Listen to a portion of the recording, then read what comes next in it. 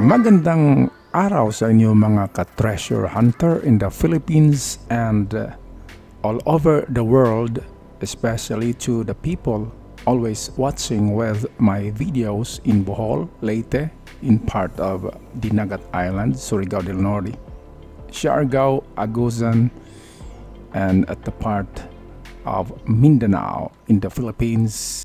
Good day to all of you. Today let's talk about how the Japanese hid their golds or their treasures inside different kind of casement.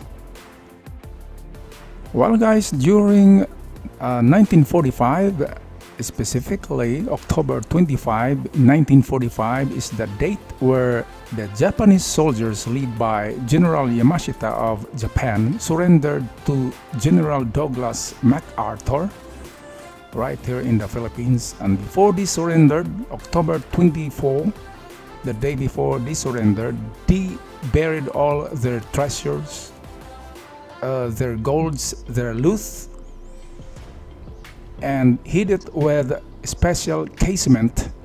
Like what I'm going to show you the next picture just to conceal it or conceal it from our plain sight they put their treasures their gold their jewelries all their loot into some special casement where we are not expecting that they will gonna do that.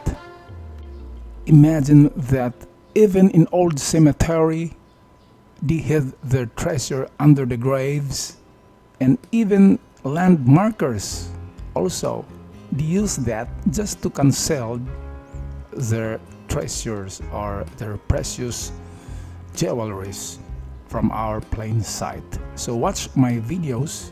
I'm gonna show you how they hid it in our plain sight by using a special casement where they put all their gold, jewelries, and all the loot they had, and buried it in our plain sight, and we didn't know it. So watch my videos for more and don't go away guys. Alright, ngayon ay Tagalog naman tayo at unahin natin yung kapsula o yung shell na tinatawag ng malalaking armas from the big guns, yung shell ng tanke de guerra, shell from the anti-craft carrier, or shell from the destroyer ship. Okay, ganito yung proportion ng mga shell na yan kung ikumpara natin sa tao ay napakalaki niyan. Parang balde ng tubig ang diametro at pwedeng paglagyan ng mga gold coins, silver, jewelries, or other sorted important and precious materials of the Japanese soldiers. Ito naman yung tinatawag natin na wine barrel or yung lalagyan ng mga alak. During the old days, 1940s, yung lalagyan ng alak hanggang sa ngayon ay parang hindi nagbago. Ganyan pa rin. Oak barrel Pwede rin yan paglagyan ng mga gold bars, jewelries at halo-halong gemstones tulad ng jade at perlas na nakukuha nila sa buong Asia noong raid or nung giyera ng World War II. At dahil sa gawa ng kahoy ang oak barrel na yan, kaya pag inilibing yan ng mga Hapones sa lupa underground, Bago takpan ng lupa, yung hukay ay binubuhusan muna ng concrete cement para hindi uh, mag-decay or hindi marupok yung barrel, yung oak barrel na gawa sa kahoy. At ganito yung itsura pag titigas na yung semento. Yung makita natin pag nakatagpo tayo ng ganong treasure ay simento lamang yung makita natin at napaloob doon yung box or oak barrel or kung anumang klaseng box na kailangan ng support ng concrete para hindi ito mag-disintegrate or mabulok habang lilipas ang mahabang panahon. At ang susunod naman na casement or magandang paglagyan ng mga treasure ng mga Japanese soldiers during the World War II ay yung metal barrel or yung gawa sa GI sheet na napakakapal na kahit uh, 50 years ibaon sa lupa yan ay hindi pa rin yan mag-rust or hindi pa rin yan marupok or hindi mag-disintegrate. Kaya magandang lalagyan yung barrel. Ang mga barrel na yan ay ginagamit yan na lalagyan ng fuel ng mga warship, yung pangdigmang barko ng mga Hapones.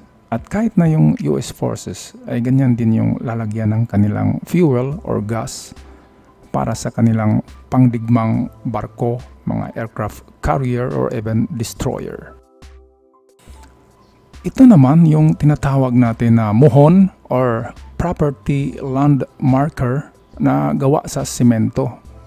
Ito ay talagang land marker yung nasa picture. Pero yung mga Hapon ay gumagawa ng ganyan at kanilang nilagyan ng palaman na mga bars sa loob. Two bars or maybe three bars ang kada muhon at yan ay inilagay nila mismo sa ating paligid or in our plain sight nakatago ang mga yan kaya doon sa Leyte meron akong uh, nabalitaan doon na nakatagpo ng ganyan akala niya ordinaryong muhon lang pero nang binasag niya nakita niya yung nakalagay doon na gold bars na nakabalot pa sa asphalt or yung alkitran na kulay itim. At doon naman sa Dinagat Island, somewhere sa lugar na tinatawag na Cagdianaw ay meron din doon nakatagpo ng ganito pero iba ang itsura. Ito ay rectangular naman at flat na concrete na ginawa nilang yung pa paspasan ng paa sa kanilang hagdanan at ng kanilang nang mabasag ito ay kanilang na-discovery na mayroong mga nakatago at nakapalaman doon sa loob ng rectangular na paspasan nila or yung nilalagyan ng mga sapatos sa baba ng hagdan. Yun daw ay napulot nila sa baybayin o seashore at nilagay doon sa hagdan para gawing paspasan ng kanilang mga chinilas at sapatos. Ang treasure talaga, sabi ko ay it is just hidden in our plain sight. Kaya yung mga hap Hapones ay napaka-tricky or trickster nila. Marami silang trick kung saan itatago. Parang puzzle. Kaya kahit sa palibot natin, tayo mapagmasid at kailangan lang dyan ay kunting kaalaman sa treasure hunting kaya nag-share ako sa inyo kung paano makikita kung ano ang nilalagyan ng mga treasure na yan sa iba't ibang paraan ng mga Hapones. Ngunit warning ko lang sa inyo pag nakakita kayo ng ganyan na parang may caution sign na electrical cable, huwag ka agad yan hukain. Tingnan mo na ang kapiligiran kung meron bang poste ng kuryente, meron bang mga wiring sa lugar na yon na galing sa distributor ng kuryente sa inyong lugar. E kung walang poste ng kuryente, at walang ilaw dyan sa lugar na yan. Meaning, iyan na yung inahanap natin na treasure na pinapaloob lang sa mga ganyan na landmarker na gawa sa simento. Okay, at dito naman tayo sa tinatawag na ammunition box or ammo box na ginagamit na lalagyan ng iba't ibang uri ng caliber ng mga bala or ammunition ng mga Hapon.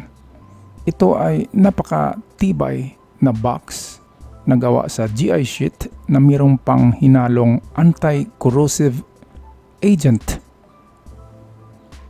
Ang laman nito ay mayroon iba't ibang caliber ng armas. Example, caliber 30 for machine gun, caliber 50 for sniper, and caliber 30 for rifles like Garand and Springfield rifles in World War II. And even there is caliber 30 for the Tora Tora plane. So ganito yung itsura ng mga boxes kung may makita kayong ganyan na nakalibing sa lupa. Meaning dalawa lang ang meaning niyan. It's either ammunition ang laman yan, mga granada at sumasabog na bagay, mga barel, or yung minimithi natin at hinahanap na jewelries, treasure, golds, precious gems na itinatago at inilib- inilibing ng mga Hapon kasi sila ay mag-surrender na noong kasagsagan ng giyera, October 25, 1945. Kaya sila ay nagmadali kahit anong malalagyan or kahit anong casement ay ginagamit nila sa paglibing ng kanilang treasure at ito ay itinatago na lang kung saan pwede kasi nagmadali talaga sila. At para ito ay hindi mabubulok at tatagal pa ng ilang siglo para makuha pa ng, ng kanilang mga anak, ito ay ma-retrieve even ng kanilang mga grandson, ito ay binubuhusan muna nila ng concrete cement bago ito ay takpan ng lupa para ito ay ma-preserve for a long long time.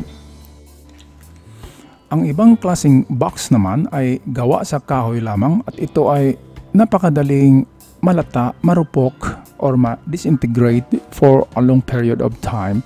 Kaya ang ginawa nila ay pag ito ay nailibing na ng lalim na about 2 meters or 3 meters kasi hindi na talaga sila makapaghukay pa ng mas, mas malalim pa sa 3 meters kasi sila ay nagmadali kaya ang ginawa lang nila ay bubuhusan na naman ito ng concrete para ma-preserve yung kahoy na box.